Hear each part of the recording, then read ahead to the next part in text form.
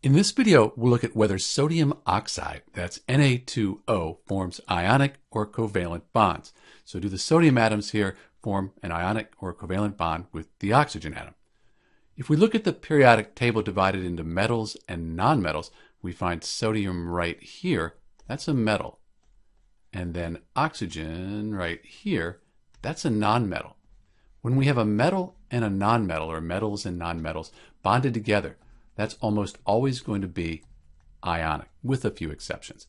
So the bond between the sodium atoms and the oxygen atom, that'll be ionic. You might ask why we have two sodium atoms and only one oxygen atom. Since we're dealing with an ionic compound, we need to deal with ionic charge. And we can look on the periodic table. This is divided up by ionic charge based on group. Find sodium.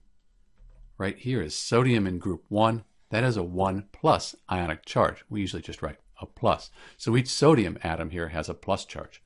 Oxygen, that has a 2 minus. So we need two of these sodium atoms, each one has a 1 plus, to balance out the oxygen atom, which has a 2 minus. Because they're opposite charges, they'll be attracted, and they'll form an ionic bond. This is Dr. B, and thanks for watching.